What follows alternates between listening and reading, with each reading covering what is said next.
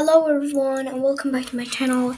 So in today's video I am making the first ever video in my whole new series called Chit Chat Tips. So in a separate video um, I made a video about roleplay tips in Star Stable when you're roleplaying as a wild horse. Um, so today I thought to make a video on tips and tricks for being a good club owner in Star Stable. Okay, so I am training while I do this for more, you know, background to it. Okay, um, and also I need to train my work. I cannot move when I'm blah blah blah. Anyway, Anyway, anyway. So my first tip is a good club name. Not very long and complicated, but something that goes together, you know. There is oh yes, it's the it's the um, it's a yeah, it's SSO Con Team 2023 t-shirt that I just got. Okay, but, but anyway, my first tip yeah, it was a club name, right? And I would also recommend club names that goes together, like Turbo Turtles and T-Rex Dinosaurs. I'm pretty sure there are, are already clubs with these names, so I don't think they can be taken. But just clubs name eh, club names in general that goes together is something that I would recommend. Basically, what I mean by that is club not club names that are like um, Win Buddies Crew because that's just I don't know. If your club's name is something like that, that's great. It's a unique name, but it is a bit um, it's a bit hard to understand if that makes sense. Okay, so my next tip is also something along the lines of club names. So I would not recommend copying the names of a famous club because that will kind of put your club in a bad light, if you know what I mean. Okay, but anyway, my next tip will go to any social media platform like having a website or a Discord server or like maybe a I don't know, Instagram account for your club because that will just make the club bigger quicker because people will get to know that the club is that, that you made your club like outside of you making advertisements in global. Okay so my next tip is having a nice outfit for your club. And by nice outfit i mean outfit that is unique that no other clubs have but that also looks good and that other mem- that the members in your club also think looks good. And it is also smart to have something that does it isn't extremely expensive because you want people to be able to buy the outfit obviously. Sorry. And then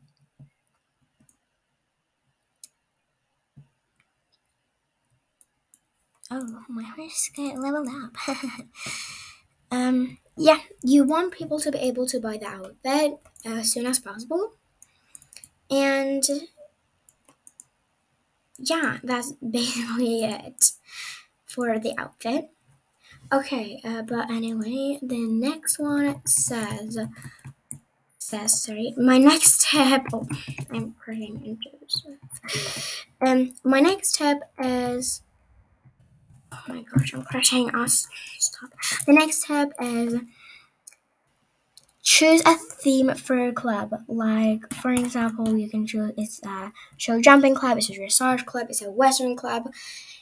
You should pick one or two of those themes. Like, for an example, this is just an example.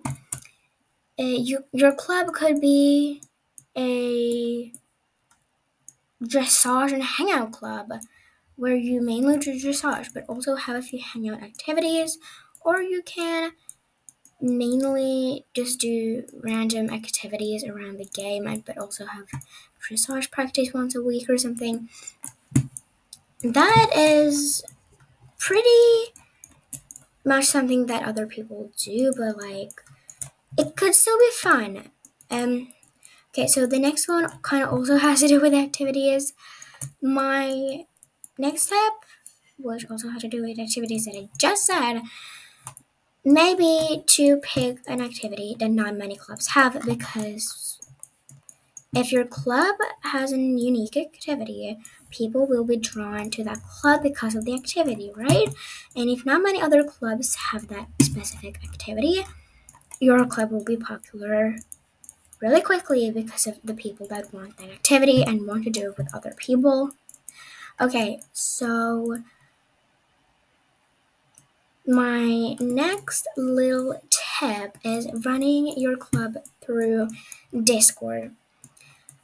Um, running your through through running your club through Discord makes it pretty much easier to run a club since you can put out more information there. And in Discord, you can also do voice calls, which is really helpful, especially for dressage, so you can like communicate with your club through that instead of having to use the club chat. Not that using the club chat is bad, it's just that using the club chat for the dressage that is a bit difficult i feel like because you like you have to write everything everything down and it's more difficult to like explain because you have to write it down and it will also take up time from the practice. Okay uh, so my next little tip is this is the last tip also. This is the last tip good communication with your club especially the leaders.